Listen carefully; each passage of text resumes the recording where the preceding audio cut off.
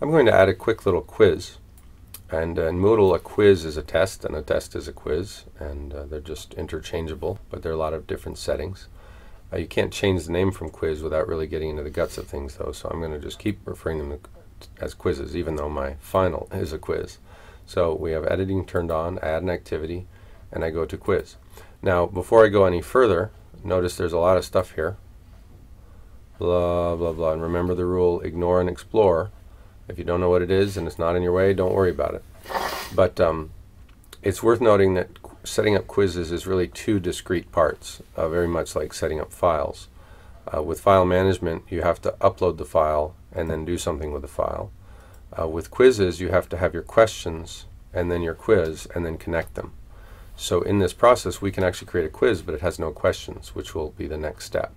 So let's just give it a simple, a simple kind of um, I don't know, basic math, you know, basic math. And we'll say a test of your basic math skills. And we can have the quiz turn off and on.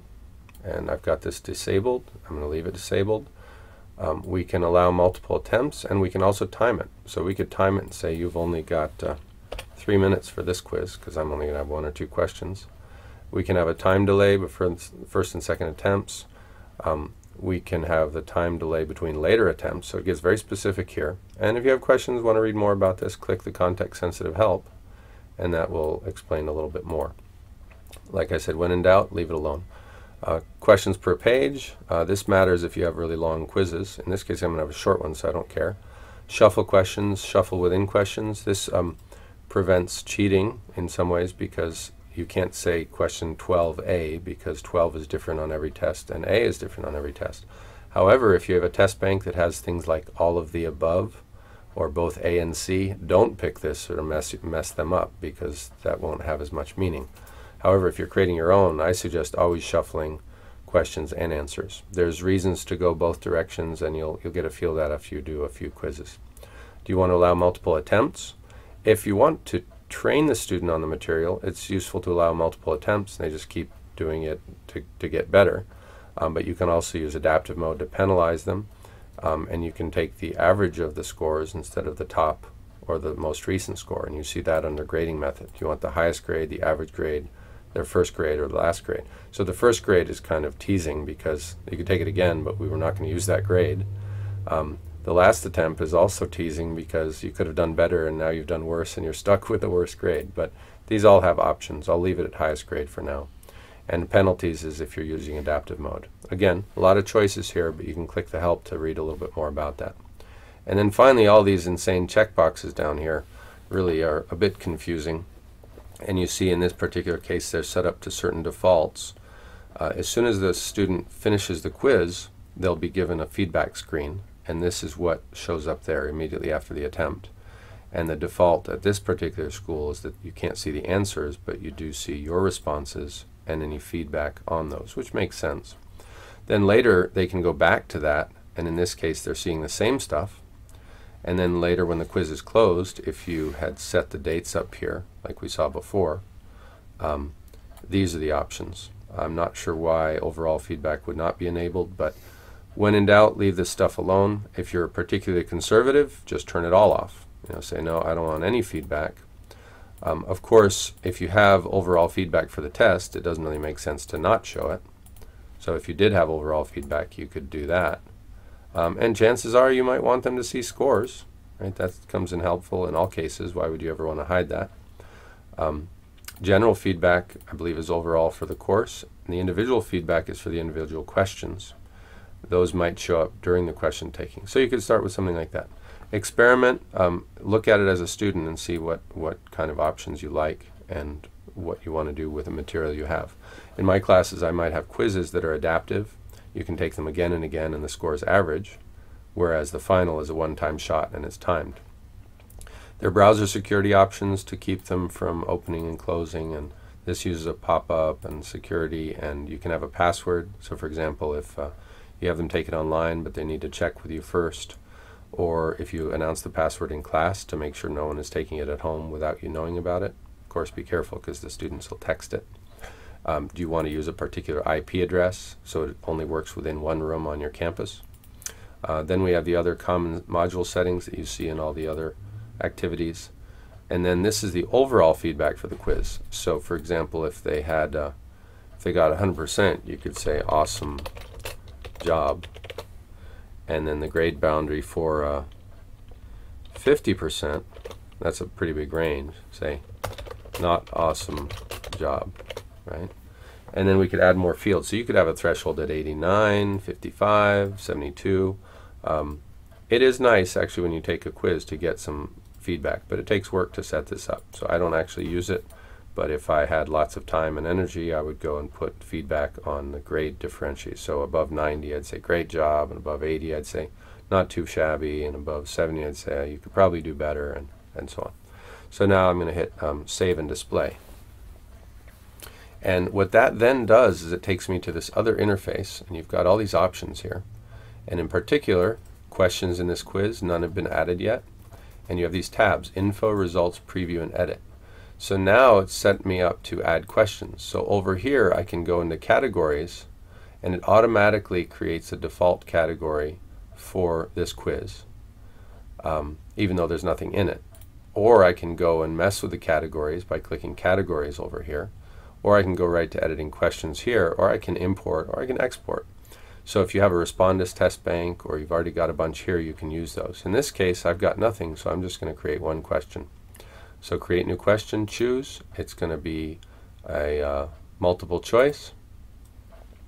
And I'm going to put it in the default for basic math. I can pick which category I want to create this new one in.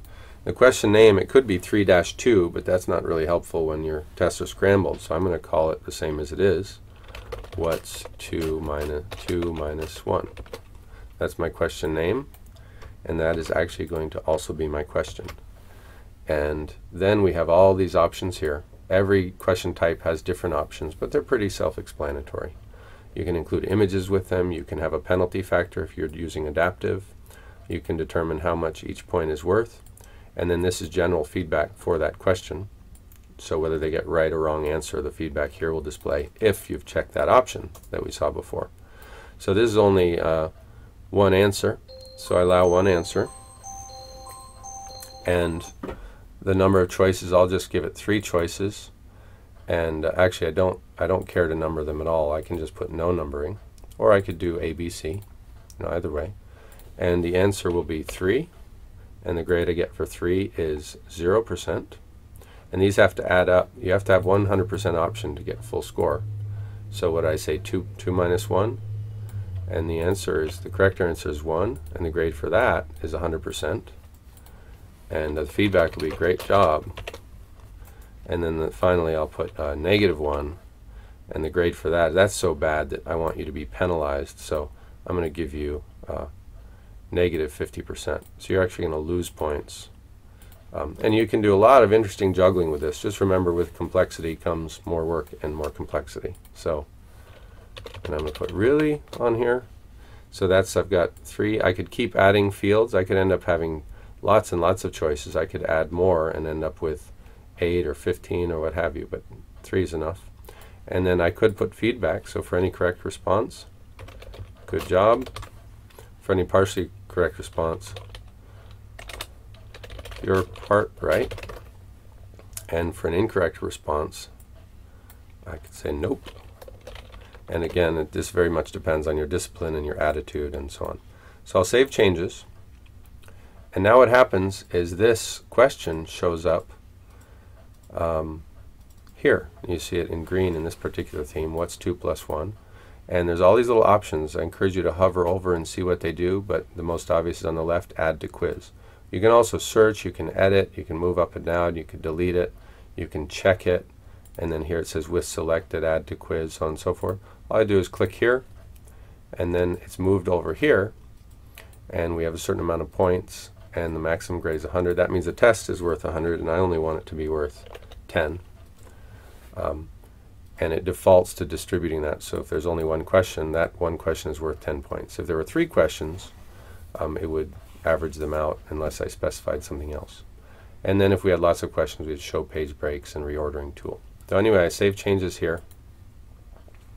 Um, however, it's important to know this is sort of the question manipulation area. This is how we add things to the quiz and manipulate question categories. However, if you want to actually edit the quiz, that's up here, the standard button, just like we had with forums and assignments and so on. So I think I'm set. Um, now I can actually go and uh, click preview and see what that quiz looks like. And there we go. It says start again. What's 2 minus 1?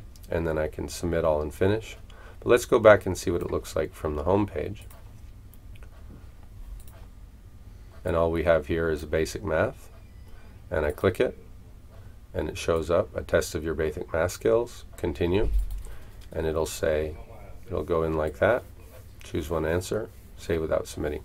Now, if I had uh, limited the number of attempts, it would warn me. It would say, "Hey, you, you, uh, you sure?" So I'll go update the quiz, and I'm going to change the number of attempts to, uh, let's see, attempts allowed. Well, actually, we're only on one there, so.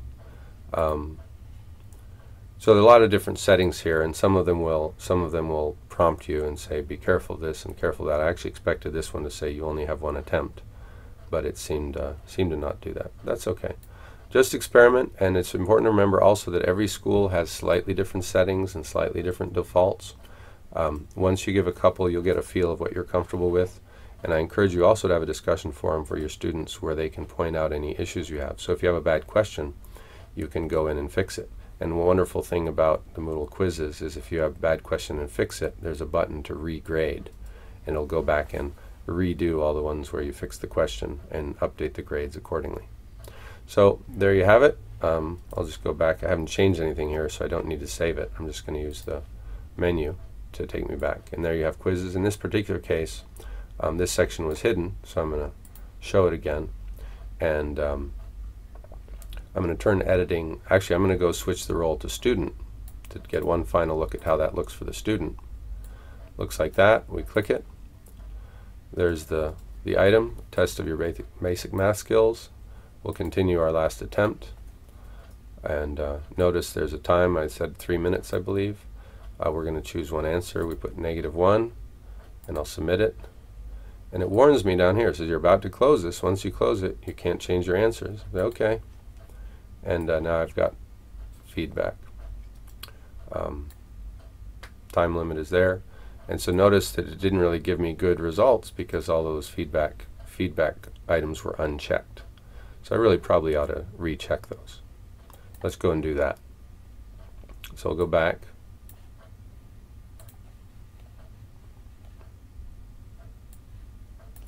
Return to normal role. Turn editing on. Edit. Remember I said